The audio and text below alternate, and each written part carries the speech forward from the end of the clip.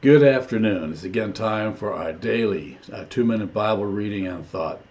I'm going to read from the uh, 39th uh, chapter of, uh, of Genesis.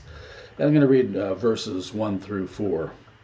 Now Joseph was taken down into Egypt, and Potiphar, an officer of Pharaoh, the captain of the guard, an Egyptian, bought him from the Ishmaelites who had brought Joseph down there the Lord was with Joseph, and he became a successful man. He was in the house of his Egyptian master, and his master saw that the Lord was with him, and that the Lord caused all that he did to prosper in his hands. So Joseph found favor in his sight and attended him. He made him overseer of his house and put him in charge of all that he had. May the Lord add a blessing to the word. Joseph, if you remember, we know he, we, we remember him so much for the coat of many colors that his father had had uh, made for him, and he was the favorite son, and that caused the other brothers to hate him, hate him so much they sold him into slavery, sold him to the Ishmaelites who took him down into Egypt. Yeah, that must have been a real blow, isn't it? To find yourself sold into slavery by your own family you know, it must have been a really low point. But he, he prospered after he got down there.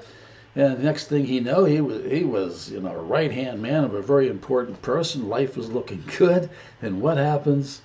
He was wrongly accused of a crime, and he was tossed into prison. And he sat in the prison, he must be thinking, "Wow, just when you think it's getting good, everything falls apart." I don't know about you, but I've thought about, uh, felt like that many times find yourself in that place and you go, oh man, this is the last place in the world I want to be.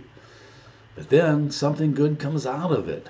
It's amazing how many times that will happen.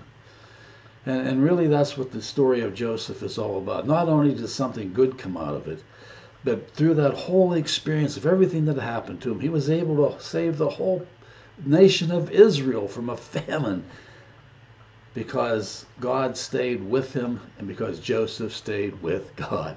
I, I don't know what you're going through. Um, many of us have ups and downs and mood swings, and life looks good and then life doesn't look so much good. But the one thing is true we stay true to God, God will always stay true to us, even when we don't stay true.